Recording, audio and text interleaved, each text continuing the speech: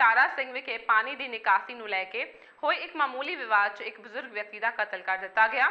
ਮਿਲੀ ਜਾਣਕਾਰੀ ਮੁਤਾਬਕ ਗੁਰਸਾਹਿਬ ਸਿੰਘ ਅਤੇ ਗੁਰਨਾਮ ਸਿੰਘ ਆਪਣੇ ਰਿਸ਼ਤੇਦਾਰ ਦੇ ਘਰ ਬਿਮਾਰ ਦਾ ਹਾਲ ਪੁੱਛਣ ਆਏ ਹੋਏ ਸਨ, ਪਰ ਅਚਾਨਕ ਪੜੋਸ 'ਚ ਰਹਿੰਦੇ ਮੇਜਰ ਸਿੰਘ ਅਤੇ ਉਸ ਦੇ ਪਰਿਵਾਰ ਦੇ ਮੈਂਬਰਾਂ ਨੇ ਹਥਿਆਰਾਂ ਨਾਲ ਲੈਸ ਹੋ ਕੇ ਹਮਲਾ ਕਰ ਦਿੱਤਾ, ਜਿਸ ਕਾਰਨ ਗੁਰਨਾਮ ਸਿੰਘ ਦੀ ਮੌਤ ਹੋ ਗਈ।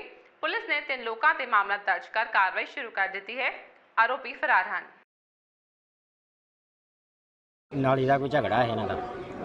ਆਪਸ ਵਿੱਚ ਦੀ ਤੇ ਅਸੀਂ ਤਾਂ ਇਹਨਾਂ ਦਾ ਪਤਾ ਲੈਣ ਸਾਡੇ ਮਾਸੀ ਦੇ ਮੁੰਡੇ ਦੇ ਲੱਤ ਦਾ ਪ੍ਰਸ਼ਨ ਕਰਾਇਆ ਸੀ ਤੇ ਇਹਨਾਂ ਦਾ ਹੀ ਪਤਾ ਲੈਣਾ ਹਾਲੀ ਤਾਂ ਅਸੀਂ ਹਾਲੀ ਪਾਣੀ ਪੂਣੀ ਪੀਣ ਡਏ ਹਾਂ ਤੇ ਬੰਦੇ ਬਾਹਰੋਂ ਆ ਕੇ ਬੰਦੇ ਬਹਿ ਗਏ ਆ ਤੇ ਅਸੀਂ ਭਾਜੀ ਕੇ ਅੰਦਰ ਵੜ ਗਏ ਬੰਦੇ ਜ਼ਿਆਦੇ ਸੀ ਤੇ ਬਾਪੂ ਤਾਂ ਤੁਰਿਆ ਨਹੀਂ ਜਾਂਦਾ। ਤੇ ਬਾਪੂ ਬਾਹਰ ਰਹਿ ਗਿਆ ਤੇ ਉਹਨਾਂ ਨੇ ਬਾਪੂ ਨੂੰ ਬਾਹਰ ਫੜ ਲਿਆ ਤੇ ਲੜਾਈ ਲਾਤਾਂ ਮਾਰੀਆਂ ਤੇ ਗੁੱਧੀਆਂ ਸੱਟਾਂ ਮਾਰ ਕੇ ਉਹਨਾਂ ਦੀ ਮੌਤ ਕਰਤੀ ਉਹਨਾਂ ਨੇ। ਪੁਲਿਸ ਸਾਹਿਬ ਦੀ ਕਾਰਵਾਈ ਕਰਨ ਲਈ ਆ। ਉਹ ਮਦਈ ਆਏ ਸੀਗੇ ਗੁਰਸਾਹਿਬ ਸਿੰਘ, ਪੁੱਤਰ ਗੁਰਨਾਮ ਸਿੰਘ ਜੱਟ ਵਾਸੀ ਬੱਲਿਆਂ ਵਾਲਾ ਉਮਰ 49 ਸਾਲ।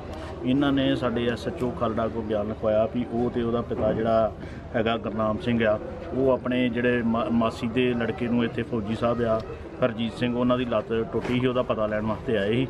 ਤੇ ਜਦੋਂ ਇੱਥੇ ਘਰ ਵਿੱਚ ਬੈਠੇ ਗੱਲਾਂ ਬਾਤਾਂ ਕਰਨ ਡਏ ਸੀ, ਤੇ ਇਹਨਾਂ ਦੇ ਜਿਹੜੇ ਲਾਗੇ ਘਰ ਵਾਲੇ ਆ, ਮੇਜਰ ਸਿੰਘ ਸਾਨੋ ਕਰਦੀਪ ਸਿੰਘ, ਇਹਦੀ ਘਰ ਵਾਲੀ ਦਵਿੰਦਰ ਕੌਰ, ਪਤਨੀ ਮੇਜਰ ਸਿੰਘ ਤੇ ਇੱਕ ਇਹਨਾਂ ਦਾ ਭਤੀਜਾ ਵਾ ਗੁਰਵਿੰਦਰ ਸਿੰਘ, ਲੇਟ ਪ੍ਰਗਟ ਸਿੰਘ ਜੱਟ ਵਾਸੀ ਰਾਜੋਗੇ ਇਹ ਤੇ ਨਾਲ ਇਹਨਾਂ ਦੇ ਹੋਰ ਵੀ ਪੰਜ ਛੇ ਵਿਅਕਤੀ ਇਹ ਡਾਂਗਾ ਸੋਟੇ ਲੈ ਕੇ ਤੇ ਇਹਨਾਂ ਦੇ ਘਰੇ ਆਣ ਕੇ ਪੈ ਗਏ ਆ। ਤੇ ਇਹ ਜਿਹੜਾ ਸਾਰਾ ਪਰਿਵਾਰ ਆ, ਇਹ ਡਰਦੇ ਮਾਰੇ ਆਪਣੇ ਅੰਦਰ ਵੜ ਗਿਆ ਤੇ ਜਿਹੜਾ ਬਜ਼ੁਰਗ ਸੀਗਾ ਆਪਣਾ ਗੁਰਨਾਮ ਸਿੰਘ, ਉਹਨੂੰ ਇਹਨਾਂ ਨੇ ਫੜ ਲਿਆ ਤੇ ਉਹਦੇ ਗੁੱਜੀਆਂ ਸੱਟਾਂ, ਡਾਂਗਾ, ਸੋਟੇ, ਢਿੱਡ 'ਚ ਤੇ ਨਲਾਂ 'ਚ ਉਹਨਾਂ ਨੇ ਲੱਤਾਂ ਮਾਰੀਆਂ ਵਾ। ਤੇ ਮੁੜ ਕੇ ਰੌਲਾ ਪਾਉਣ ਦੇ ਉੱਤੇ ਜਿਹੜੇ ਹਮਲਾਵਰ ਆ ਜਦੋਂ ਭੱਜ ਗਿਆ ਆ। ਤੇ ਜਿਹੜੀ ਇਹਨਾਂ ਵੇਖਿਆ, ਗੁਰਨਾਮ ਸਿੰਘ ਦੀ, ਗੁਰਨਾਮ ਸਿੰਘ ਦੀ ਜਿਹੜੀ ਮੌ- ਮੌਕੇ ਤੇ ਹੀ ਮੌਤ ਹੋ ਗਈ ਆ। ਤੇ ਗੁਰਸਾਹਿਬ ਸਿੰਘ ਦੇ ਬਿਆਨਾਂ ਦੇ ਉੱਤੇ ਜਿਹੜਾ ਅਸੀਂ ਐਫ ਆਈ ਆਰ ਦਰਜ ਕਰ ਰਹੇ ਆ, ਦਰਜ ਕਰਕੇ ਤੇ ਲਾਸ਼ ਜਿਹੜੀ ਆ ਪੋਸਟਮਾਰਟਮ ਵਾਸਤੇ ਜਿਹੜੀ ਆ ਉੱਤੇ ਪੱਟੀ ਭੇਜ ਰਹੇ ਆ। ਤੇ ਦੋਸ਼ੀਆਂ ਦੇ ਉੱਤੇ ਵੱਖ-ਵੱਖ ਪਾਰਟੀਆਂ ਬਣਾ ਕੇ ਰੇਡ ਕੀਤਾ ਜਾ ਰਿਹਾ ਵਾ। ਤੇ ਦੋਸ਼ੀਆਂ ਨੂੰ ਜਿਹੜਾ ਵਾ ਬਹੁਤ ਜਲਦੀ ਤੋਂ ਜਲਦੀ ਗ੍ਰਿਫਤਾਰ ਕਰਕੇ ਤੇ ਜਿਹੜਾ ਇਹਨਾਂ ਨੂੰ ਇਨਸਾਫ ਦਿਵਾਇਆ ਜਾਏ।